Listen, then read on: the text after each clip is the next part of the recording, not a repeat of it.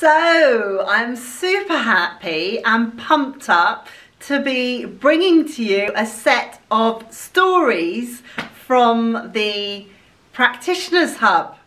All the stories that have come across during my lifetime of different people and I'm bringing them to you today. How good is that? So sit back, relax, and listen to the story I'm about to tell you. There was once a therapist called Janet. Now Janet, as she was growing up, she'd come from a multicultural um, background. So her father was from Sri Lanka and Janet had an English mother. But the problem being was the English mother taught Janet, who was the eldest child, that it was her responsibility to look after all family members, okay, even her father. And the way she taught her that was not verbally, but it was all very, very subliminal. So she was being brainwashed from such a young age that it was her responsibility to make sure that all the members of the family were actually um, were actually looked after, you know, because she saw her mother looking after her father, which was fine. But she also saw her mother looking after everyone. So Janet thought that this was the natural thing that her life should take place with. So she was a therapist, you know, in later life. But Janet realised that as she was growing up, she loved helping people, but she had nothing about herself. There was nothing in Janet. She was a lost soul, a lost entity. She gained all her satisfaction from helping her family who didn't really appreciate her much and she learned from her mother that it was her job to look after everybody even though she never knew who she really was. Now as time went on Janet naturally fell into the role of being a therapist. She was so busy being a therapist, she loved being a therapist. But Janet had one thing missing and she hadn't learned from her family that she needed to take care of herself. So Janet spent all her time when she was doing therapies looking after everyone, over exceeding herself to everybody's needs. And then she'd come home and she did the same with her husband. She was completely there for him. She never ever chose to do anything for herself. Because remember, she came from a family where she was subliminally taught how to look after everyone. And then she had a breakdown. Janet had a breakdown. Remember, Janet didn't know who she was. She had no real feelings of looking after herself or anything. But she realised that what she'd been doing when she had this breakdown, she'd been looking after everybody else at the expense of herself. And this real awakening made her realize she needed to have time for her because throughout this breakdown she had, she could hardly move, her mind had shut down, and no one really respected her while she was ill. And this was really sad for Janet because no one, her friends were always not really there for her. It was always her being there for them all the time. And during this time, Janet realized when she was ill, somehow realized that she needed to take care of herself in order to get better. So for once in her life, she was not looking after clients because she was too ill. She wasn't able to look after her husband because she was too ill. And her family couldn't expect that of her because she'd had a breakdown. You see, and but people weren't there for her in the same way that she had been there for others. So somehow Janet came across a book. She came across a book that spoke to her. It spoke to her and she started reading. She started reading this first book. And it said in this book, when she'd look at the, the back of the book. It said, you need to learn to love yourself. And Janet didn't know what that meant because all her life she'd spent time looking after others. She was always the one that put others before herself. And Janet realised that there were certain steps in this book that she needed to do where she needed to apply and do things for herself. And this was strange for Janet because Janet was a therapist. She helped others. How could she help herself? From a young age, she was busy helping in the family. She'd learnt from her Sri Lankan dad that that was what was expected of women.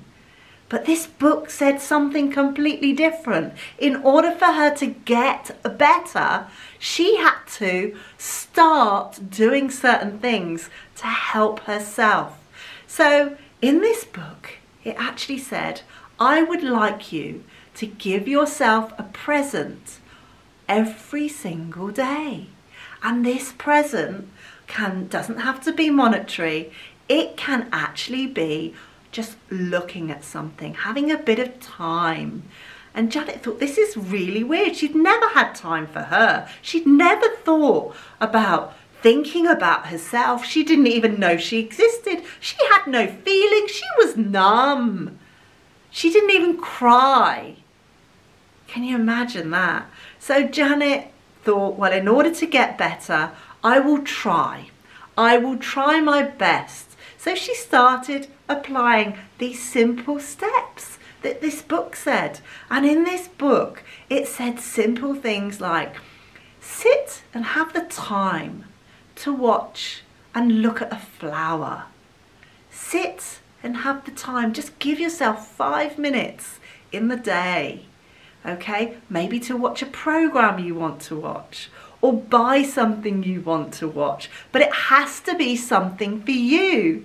Janet thought, this is ridiculous. Why should I be thinking about myself? I'm too busy wanting to help other people. But she was ill and she was determined to follow what this book said because this book that had come to, she had come into was giving her the opportunity of feeling better and she was willing to try anything. Now, Janet had been practicing all the normal things like health. She was doing that on a daily basis. She was a healthy person, you know, but she she had no self-esteem. She'd lost herself.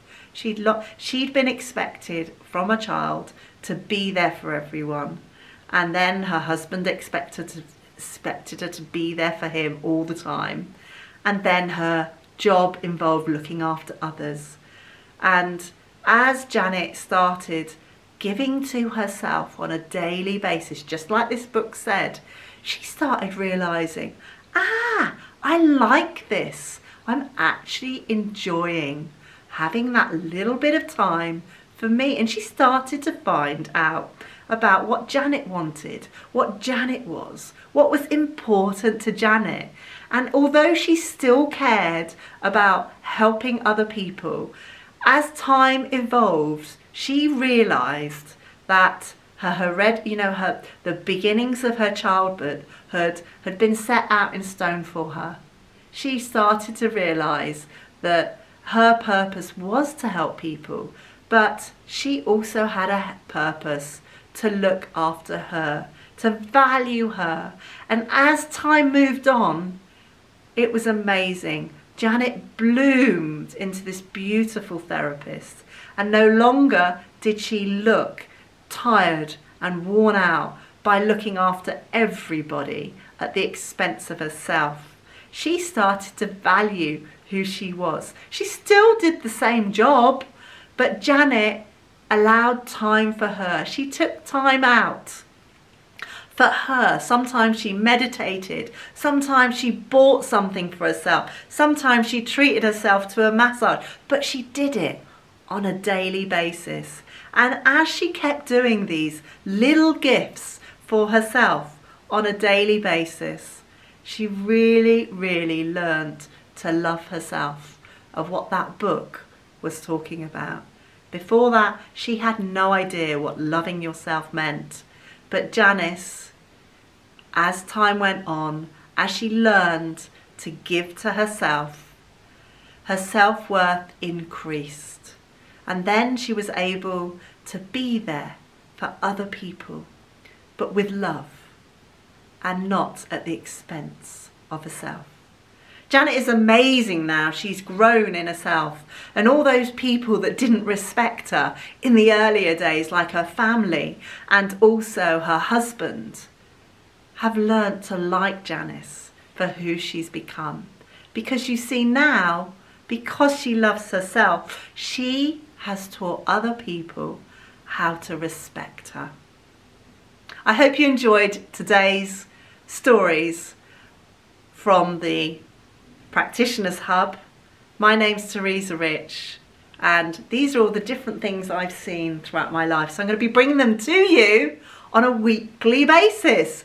All the different stories. Obviously, the people's names are anonymous and um, I'm not going to be talking about their names, but I am going to be talking about all the different stories that have come up throughout my lifetime um, and the different therapists I've seen, the different practitioners I've seen, and the different clients. So I'm not going to be using any client names.